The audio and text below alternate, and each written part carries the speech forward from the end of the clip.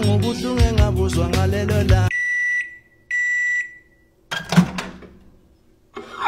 Akurayisi ukudla Umoya wami yakhathazeka nenhliziyo yami Uma ngicabanga ubuhlungu engabuzwa ngalelo la Ingqayizivele ukasasho Ngiyophela inhlawu Akurayisi ukudla Iyamlento yafika nami yohamba nami Panam